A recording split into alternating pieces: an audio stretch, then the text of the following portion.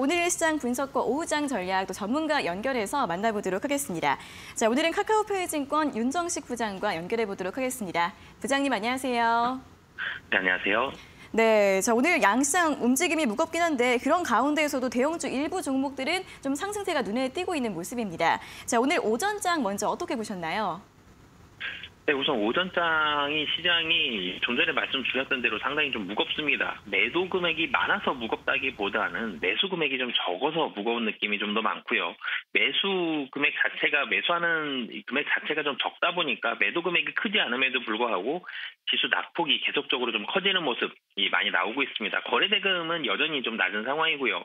미국 시장에서도 거래대금 감소 그리고 뭐 눈치 보기 장세, 국내 시장, 한국 시장과 비슷한 모습이 나타나고 있는데요. 어, 금일 같은 경우 외국인과 기관 매도 금액 자체는 지난주 금요일보다 사실은 훨씬 적습니다. 지난주 금요일 외국인은 5천억 가까이, 기관은 3천억 정도 매도를 했는데 금일 같은 경우 외국인과 기관 뭐 천억은 넘었지만 2천억 안 되는 그런 자금들로 매도를 하고 있습니다.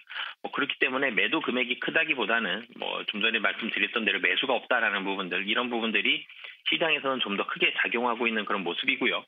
어, 매, 이 매수가 없는 부분들 지수는 대부분 하락하고 있고요. 매도만 대부분 존재한다는 점. 그리고 좀 특징적인 부분이 이 코스피 코스닥에서 외국인과 기관이 매도를 많이 하더라도 매수하는 섹터가 그래도 뭐 두세 개 정도는 되는데 오늘은 정말 거의 없습니다.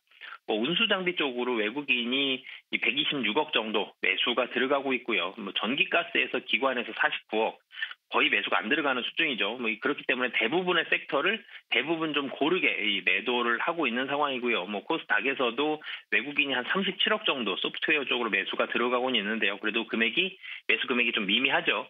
그렇기 때문에 전체적으로는 낙폭 과대했던 종목들 코스닥은 상승하는 종목 뭐 거의 없다라고 보시면 되겠고요. 1위부터 10위까지는 모두 다 하락을 하고 있습니다. 코스피에서는 상승하는 종목이 있긴 있는데요. SK 하이닉스와 네이버가 한 1% 정도 상승하고 있고요. 나머지는 상승하더라도 상당히 좀 미미한 수준입니다. 낙폭 과대에 따른 소수 종목, 두 종목이 특별히 오늘 1% 오를 만큼 좋은 게 아니라 좀 많이 하락을 했기 때문에 일정 부분 기술적 반등 성격의 저가 매수 성격의 매수가 들어오고 있다라고 보시면 되겠습니다. 네, 또 최근에 국내 증시 거래대금이 코나19 폭락장 수준까지 되돌아갔다라는 이야기들 나오고 있는데 그런 가운데 또 매수세가 너무 약하다는 점 특징적으로 볼 수 있다는 부분 짚어주셨습니다. 자, 그럼 좀 그런 가운데에서 오늘 오후장 전략은 좀 어떻게 세워보면 좋을까요? 네, 여전히 오후장도 눈치는 볼 것으로 보여집니다. 지금 정도의 하락, 혹은 조금 더 낙폭은 조금 더 커질 수는 있겠는데요. 이 전체적으로 시장은 시장 자체는 좀 보수적으로 보셔야 될 것 같습니다. 종목을 선별하실 때는 지금은 밸류에이션이 다시 재산정되고 있는 그런 상황입니다. PER이 부담스러워지는 그런 상황이거든요. 그렇기 때문에 낙폭이 굉장히 좀 과도했거나 아니면 2분기나 3분기에 실적이 확실히 올라가는 종목들, 이런 종목들 위주로 좀 대응을 하셨으면 좋겠습니다. 실적이 1분기 좋았다고 매수하는 게 아니라 이제는 이 2분기, 3분기를 봐야 되거든요. 실적이 확실히 좋아지는 종목들, 그리고 밸류에이션이 높은 종목들은 좀 보수적으로 대응을 하셨으면 좋겠습니다. 소프트웨어라든지 기술주라든지 바이오, 그 뭐이 소재주 이렇게 밸류에이션이 높은 종목들은 전체적으로는 좀 보수적으로 대응을 하시면서 실적이 상승하는 종목 중에서 매수하시는 종목은 고르시는 게 좋을 것 같습니다. 네, 오늘 말씀 잘 들었습니다. 고맙습니다. 네, 감사합니다.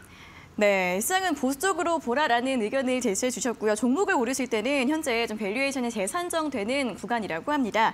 그렇기 때문에 낙폭이 과대하거나 좀 2, 3분기 실적이 상승할 것으로 보이는 종목들 위주로 전략을 세워보시면 좋겠습니다.